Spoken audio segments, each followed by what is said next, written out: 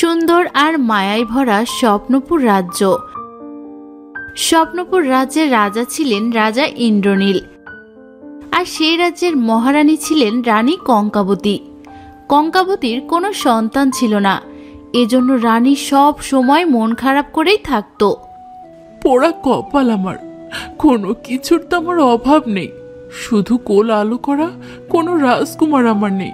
সন্তান ছাড়া এ জীবন কেমন করে চলবে, বিধাতা? আমি কোনোদিনও মাডাক শুনতে পারব না। রানী কঙ্কাবতী রাজাকে সন্তান সুখ দিতে পারেনি। এই কারণে প্রাসাদের দাসদাসীরা তাকে কথা শোনাতে ছাড়তো না। যাই বলিস, সই, আমার কিন্তু এই রাজবাড়িতে কাজ করতে ইচ্ছে করে না। বন্ধা রানী আর আটকুড়ি রাজার মুখ দেখলে কি দিন ভালো যায়? ঠিক বলেছিস সে কিন্তু কাজ চলে গেলে খাব কি? তাই তো পড়ে রয়েছি। তবে যাই বলিস রানীর কিন্তু দেমাগে শেষ নেই। অহংকারে তার মাটিতে পাই পড়ে না। নির্দয় পাষাণ একটা। যা বলেছিস সই। চল কাজ শেষ করি। নয়তো দু কথা শোনাতে তো আর ছাড়বে না। রানী কঙ্কাবতী ছিল বেজায় অহংকার মন ভর্তি হিংসে। তাই সে কারোর প্রতি কোনো দয়া করত না। রানী কঙ্কাবতী রাজ্যের পশু পাখি পোকামাকড়ের প্রতি অবিচার করত। তাই সকলেই রানী কঙ্কাবতীকে অভিশাপ করত। বদমাস বিড়াল তোর এত সাহস? তুই আমার রাস্তা কাটিস আজ তোকে আমি মেরেই ফেলব।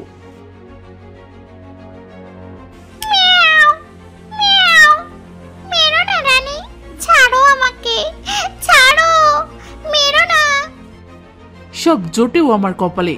এ কে আছিস? এই আদমরা বিড়ালটাকে এখনই আস্তা করে ফেলে আই তোমার মনে কোনো মায়া নেই, রানী? পাষাণ নারীর কোল শূন্য থাকবে চিরকাল। বিনা দোষে শাস্তি দেয়, তার মা হওয়ার কোনো যোগ্যতা নেই। আমার পেটে বাচ্চা ছিল। আমি দৌড়ে যাচ্ছিলাম নিরাপদ জায়গা খুঁজতে, যাতে আমার সানা ভালো থাকে। আজ মনে হয় সানা আর মা কেউই বাঁচবে না।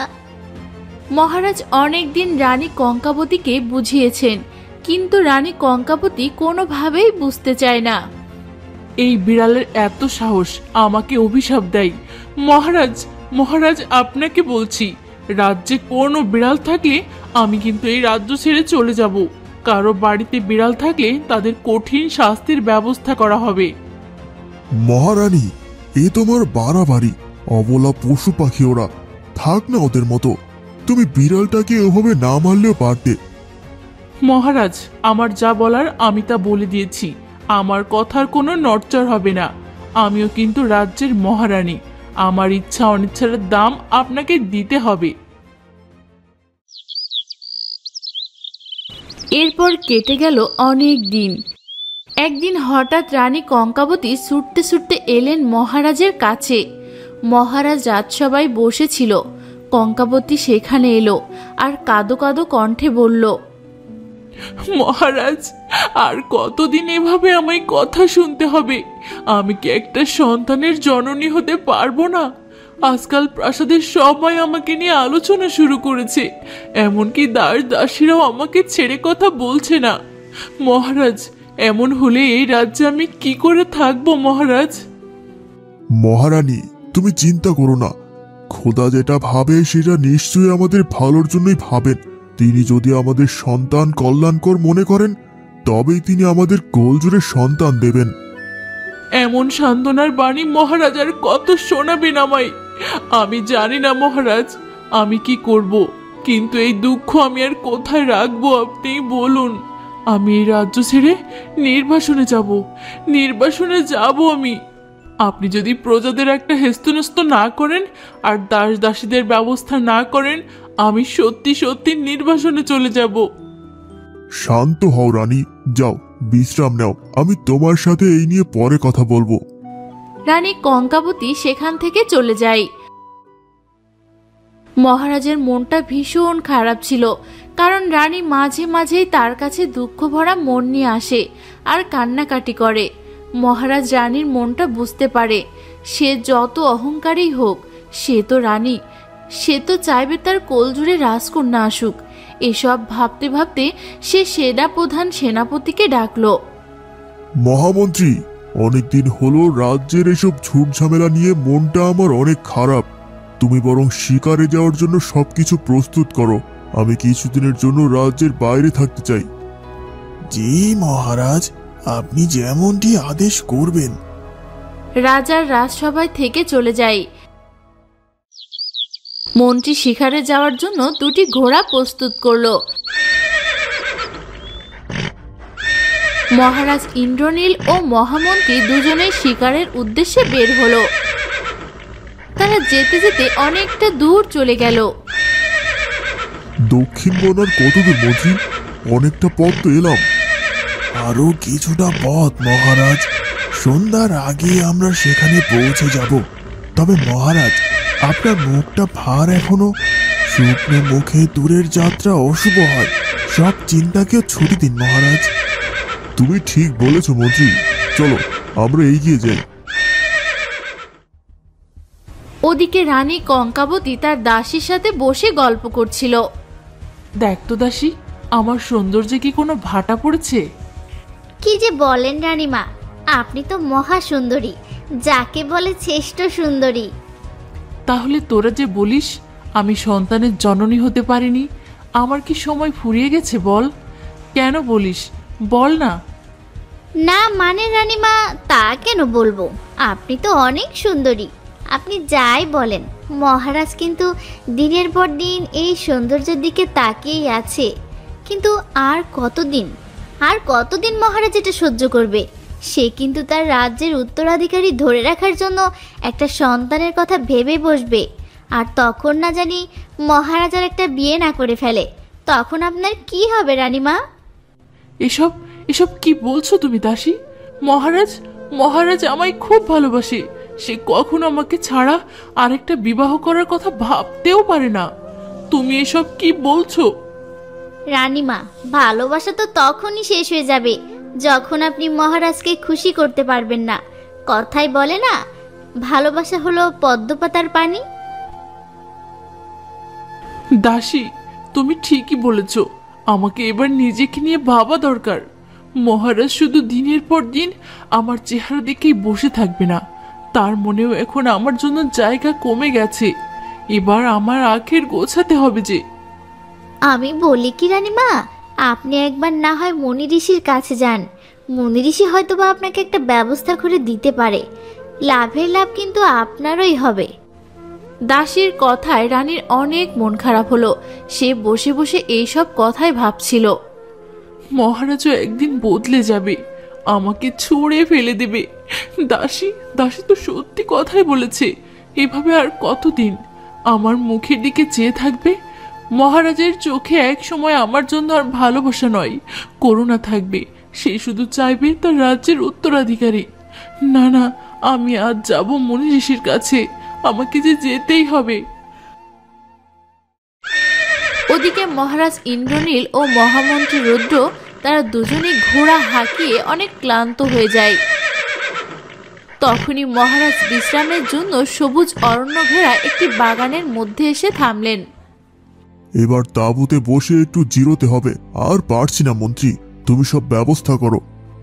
মহারাজ আমি তো তাড়াহুড়োতে সবকিছু আনতে ভুলে গেছি। মহারাজ শুনুন না ওই গাছটার নিচে একটু বসবেন? কি সুন্দর। ঠিক আছে চলো আমরা ওখানে বরং একটু বিশ্রাম করি। মহারাজা ইন্দ্রনীল ও মহামন্ত্রী ওই গাছটির নিচেই বসে বিশ্রাম করছিল। ঠিক সেই সময় সেখানে গাছের ডাল থেকে নিচে পড়ল একটি সারস পাখি। মহারাজা ইন্দ্রনীল ক্লান্ত হয়ে পড়েছিল, কিন্তু তার ঘুম ভেঙে গেল। আরে, গাছ থেকে ওটা কি পড়ল? মনে হচ্ছে ওখানে কিছু একটা পড়ল। মন্ত্রীকে বরং বিরক্ত না করি, আমি নিজে গিয়ে দেখি।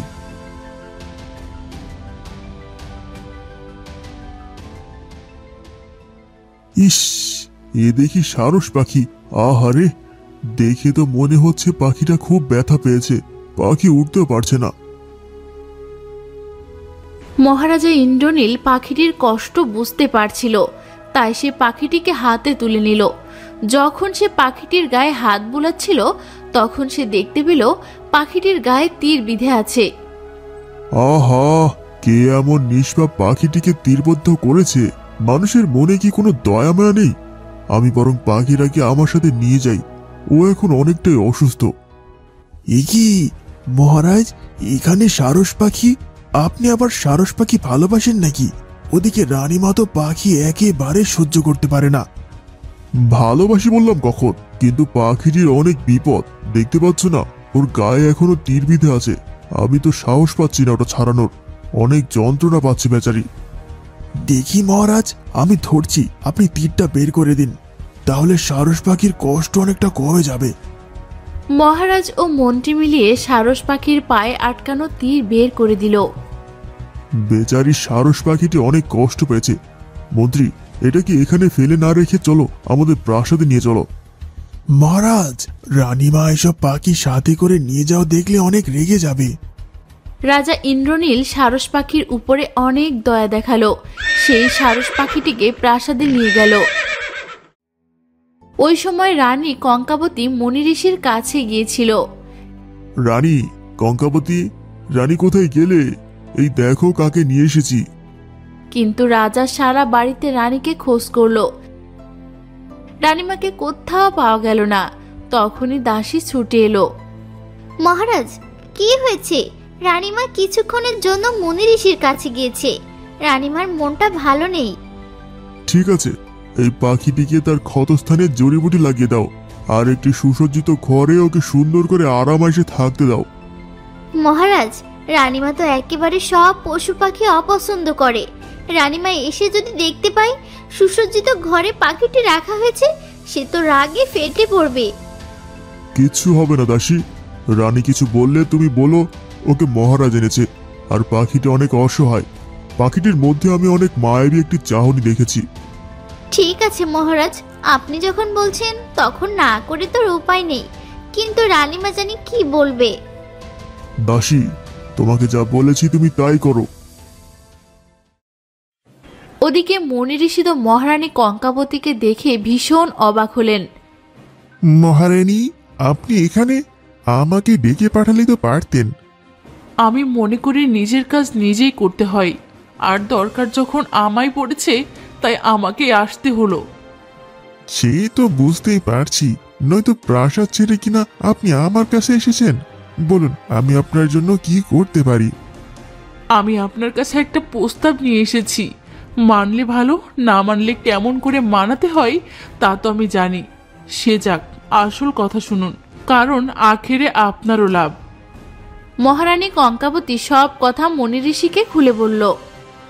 আমি আপনাকে সাহায্য করতেই পারি তবে আপনাকে আমার কথা মতো চলতে হবে মহারানী। আমার কথার অন্যতায় হলে আপনি সব হারাবেন। না আমি কিচ্ছু হারাতে চাই না। আপনি বলুন না আমাকে কি করতে হবে? আমি আপনাকে কয়েকটা বিধান দিতে চাই। আশা করি এতে অর্ধেক কাজ হয়ে যাবে। আর বাকিটা সে তো সময়ের অপেক্ষা। বেশ তো বলুন কি করতে হবে আমাকে? তো বন্ধুরা, মুনি ঋষি রানী কঙ্কাবতীকে কি বিধান শোনাবেন? সারসের প্রতি মহারাজের কেন এত মায়া? সারসকে নিয়েই কি তবে রাজা ইন্দ্রনীলের সাথে রানী কঙ্কাবতীর দূরত্ব তৈরি হবে? এইসব কিছু জানতে পরবর্তী পর্বটি দেখতে ভুলো না। আর পরবর্তী পর্বটি আসছে খুব শীঘ্রই।